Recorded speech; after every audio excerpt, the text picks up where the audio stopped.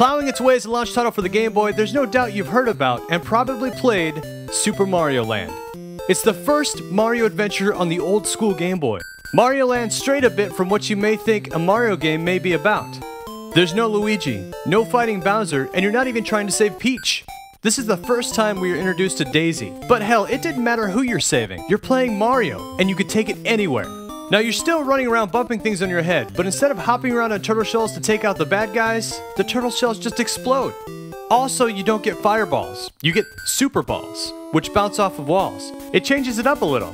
Speaking of little things, let's talk about the Game Boy screen you were playing on. Think about this, the video playing you're watching this on is actually bigger than the original Game Boy screen. So I suppose I should make the picture a little more like this to make it a little more accurate.